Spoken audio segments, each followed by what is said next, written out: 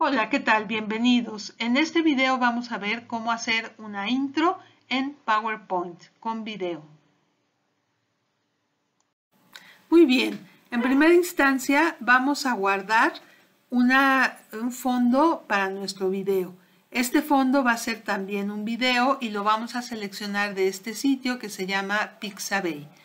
¿Qué vamos a seleccionar? En este recuadro de texto colocamos la opción videos. ¿Qué tipo de videos? Bueno, lo que queremos es un fondo, entonces le ponemos background, que es en inglés el fondo. Y buscamos. Nos da una serie de videos eh, pues bastante atractivos que podemos nosotros utilizar como fondo para lo que nosotros deseemos. En este caso yo voy a seleccionar, por ejemplo, este tema abstracto, le doy clic y me permite hacer la descarga gratuita. Al hacer la descarga gratuita voy a buscar la resolución de 1280 x 720 y lo voy a descargar.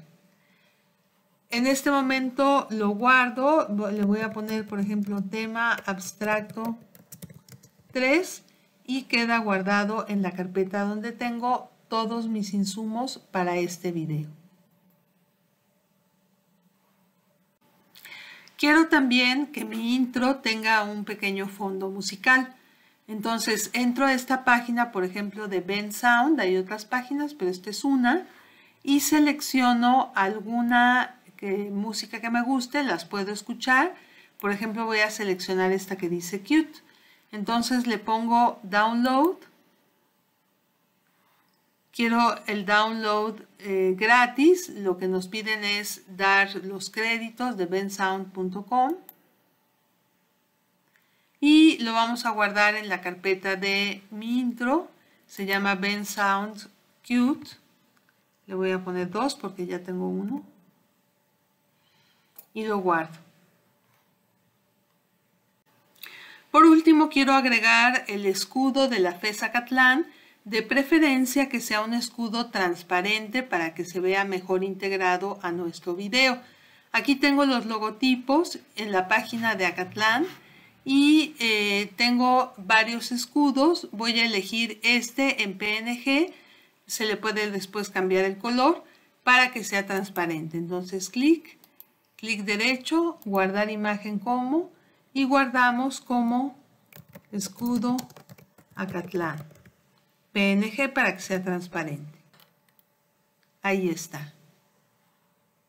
Muy bien, ahora vamos a integrar todos los elementos en nuestro video de intro.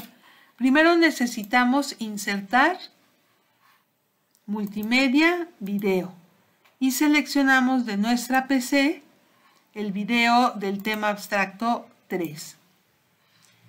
Lo ampliamos para que ocupe exactamente el tamaño de la diapositiva. Va a quedar exacto porque lo, obtuvimos con el tamaño adecuado. Y ya está listo.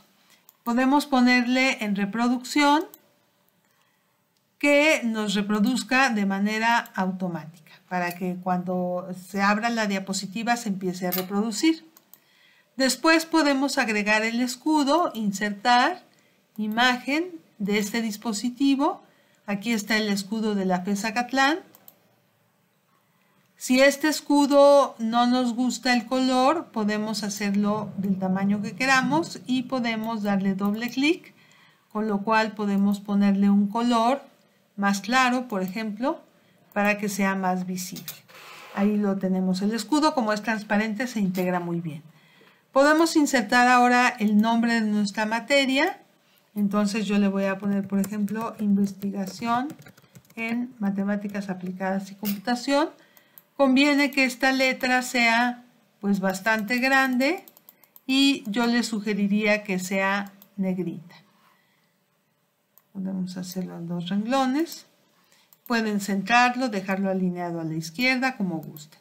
Y voy a insertar otro texto con mi nombre.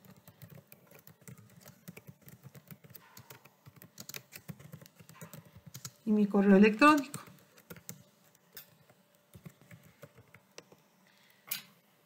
Listo.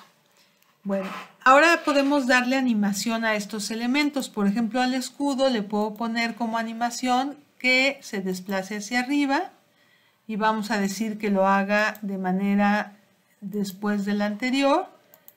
Después, investigación en Mac, que se desplace hacia arriba, que lo haga después del anterior.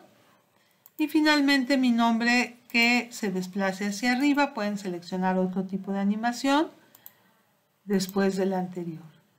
Y nos faltaría agregar el sonido. Entonces podemos insertar multimedia, audio, audio de mi PC y aquí tenemos Ben SoundCube 2 que habíamos seleccionado, lo insertamos.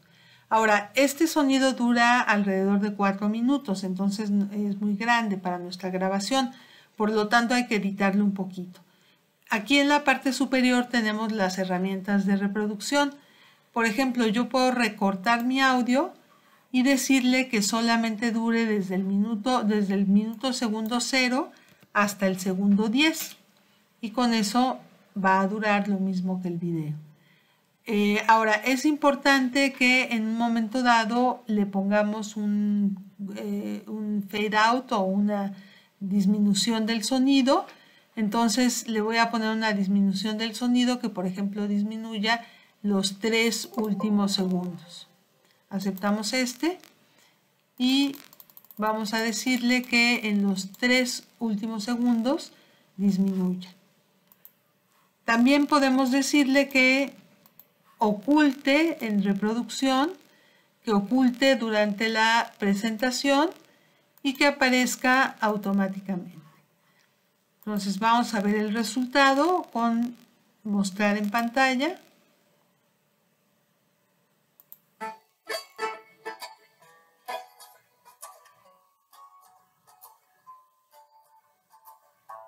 Listo.